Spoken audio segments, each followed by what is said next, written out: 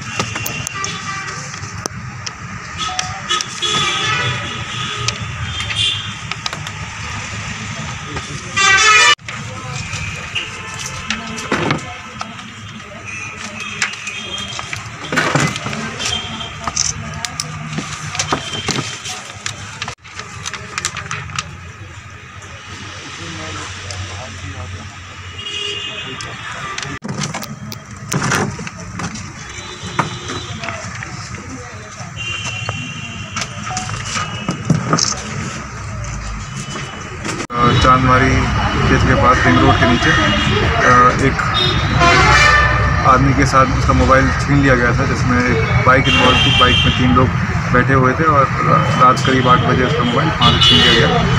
और लालपुर चौकी इंचार्ज और लालपुर पांडेपुर इंस्पेक्टर के सुपरविजन में काफ़ी अच्छी कामयाबी मिली। जिसमें तो उसमें से दो जिन्होंने घटना, दो अपराधी जिन्होंने घटना को अंजाम दिया था, जिनका नाम करण है और पंकज। ये दोनों पकड़ लिए गए हैं, गिरफ़्तार कर लिए गए हैं और इनके पास से मोबाइल बरामद हो गया है और मोटरसाइकिल जो अपराध में यूज़ हुई थी वो भी हमें बरामद हो गई क्या ये पहले भी इस तरह घटना को अंजाम दिया है या ये नहीं इनसे पूछताछ की तो ना इनका आपराधिक इतिहास मिला ना पूछताछ में ऐसी अभी तक बात नहीं निकल के आई है। इनका एक तीसरा साथी है राहुल उसको बताया जा रहा है उसका छात्र है। तो अभी वांछित चल रहा है लेकिन उसको जल्दी जल्दी पकड़ने की कोशिश है तो उसके बाद इसमें विवेचना को उस दिशा में लेके जाया जाएगा।